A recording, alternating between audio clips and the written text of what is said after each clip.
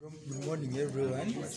Here we have equipment for wound dressing, and and on the top shelf we have a kidney dish containing two flannels for drying the hands after washing your hands. They're called flannels. That is a- Hand towels. hand towels.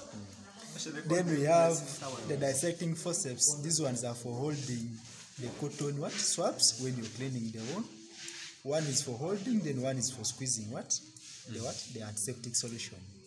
Then you have the stitch scissor. This Stitch one- scissor? eh, the stitch scissor.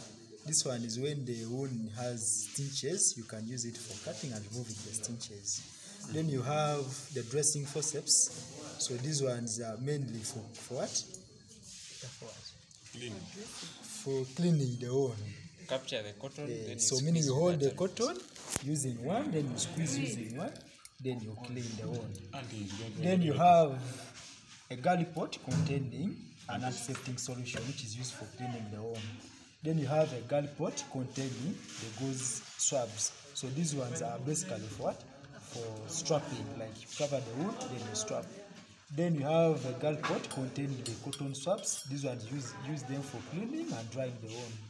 Then you have a drape. This is drape is mainly for privacy, so you use it for draping the wound. Then you have the sterile gloves.